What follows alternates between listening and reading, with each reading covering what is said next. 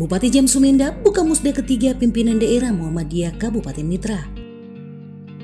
Bupati Jam Sumenab SHMH membuka secara langsung musyawarah daerah ketiga Muhammadiyah dan Asia Kabupaten Minahasa Tenggara bertempat di Desa Ponosakan Belang, Kecamatan Belang pada Kamis 6 Juli 2023.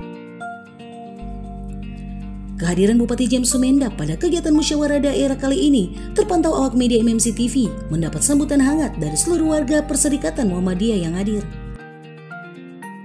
Dalam kesempatan itu, Ketua Pimpinan Daerah Muhammadiyah Mitra Seru Isnaini menyampaikan rasa syukurnya di mana untuk pelaksanaan pembukaan musda bisa berjalan dengan lancar.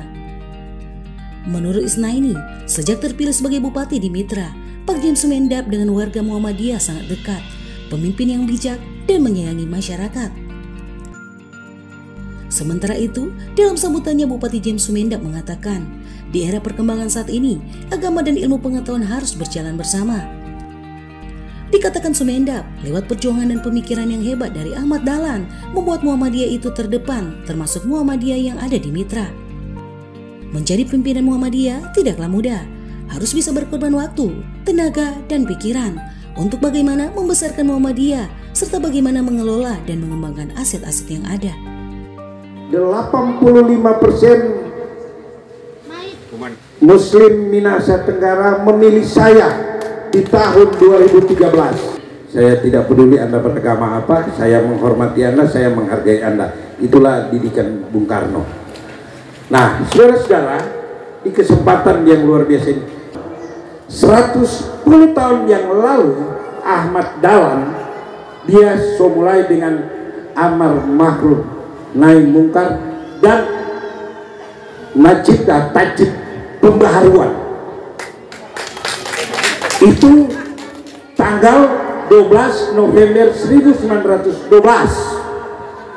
koreksi kalau salah ini sejarah ini bayangkan Gorbachev yang luar biasa dia melakukan gerakan pembaharuan itu di 110 tahun kemudian yang sudah dilakukan oleh Muhammad Daris salah sejarah. Nama dia di kampung adalah Muhammad Daris dan menjadi Ahmad Dahlan yang salah. Di Yogyakarta antara anda dan di atas itu ada imam tapi ini urusan persoalan mau urus tuh aset-aset Muhammadiyah yang sangat luar biasa banyak ini harus dikembangkan mana yang harus juga dibuat uh, baru. Itu penting saudara-saudara. Saya senang saudara-saudara karena ini organisasi sangat kuat kokoh dan punya integritas yang luar biasa. Itu yang paling utama di organisasi Muhammadiyah dari Kabupaten Minasa Tenggara, Provinsi Sulawesi Utara, Alfian Soriton mengabarkan untuk MMC TV.